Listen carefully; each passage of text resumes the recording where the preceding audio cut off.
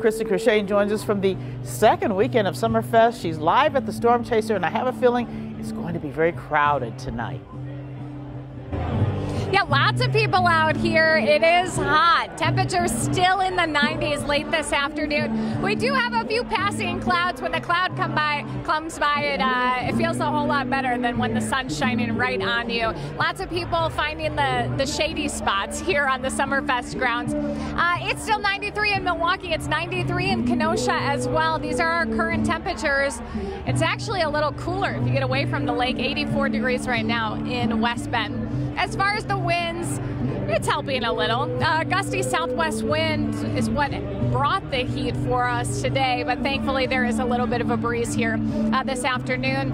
Into this evening, it will stay a little breezy, but after sunset, those winds will start to come down. All right, we've got some showers uh, across the state and even a couple of thunderstorms. Let's zoom in here.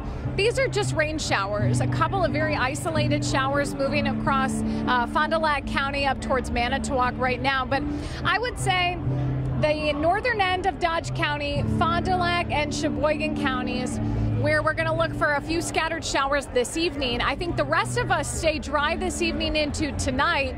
It's not until this cold front moves through very early tomorrow morning that we see a better chance for those scattered showers and isolated thunder showers area wide. Here's how it looks with future forecasts. Again, this evening, most of us are going to stay nice and dry.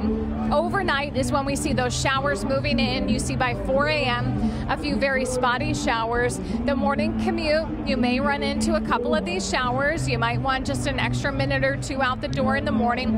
I could have a rumble of thunder as well.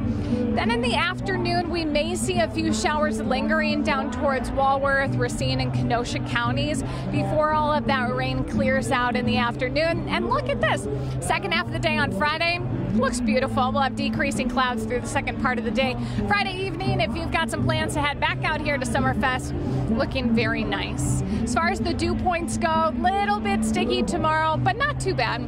Saturday, Sunday, dew points in the 50s. That's pretty good. But by Monday, you will notice an increase in humidity. All right, tonight, we're not going to cool off much. 70 is our overnight low.